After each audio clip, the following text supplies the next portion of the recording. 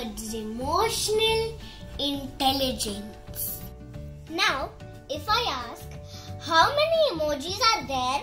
Your answer would be somewhere around 2823. Now tell me to express our emotions if we have so many teeny tiny pictures, why don't we use those many words?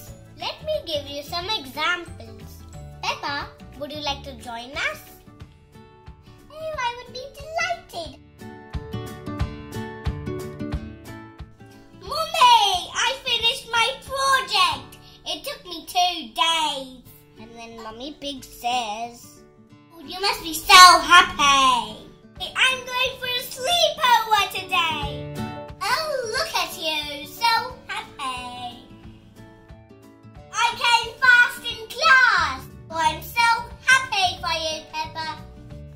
Then Sunday, Mummy, I have a dance performance today.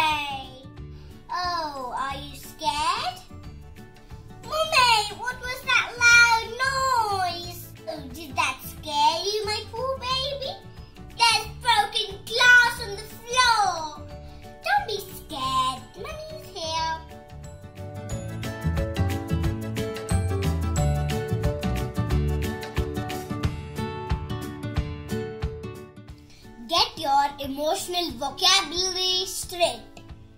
Let's do this once again.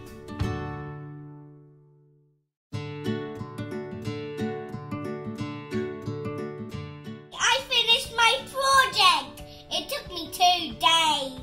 You must be so relieved.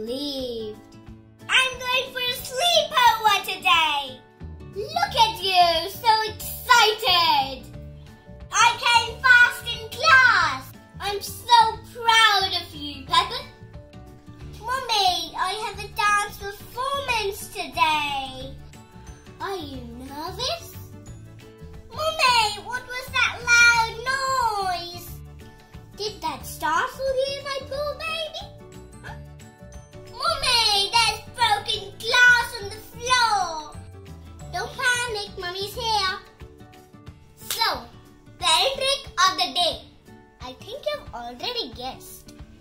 Use different words for different emotions. Don't oversimplify feelings while talking to your children. They are also people, but only smaller. They feel all the same emotions. Got it? Now you will say, Ira, there's only one way to tell you we like you. But no. If you like the video, hit the like button. If you like it more, then hit the subscribe button. And if you like it even more, share. Sharing is caring. That's all for today, right?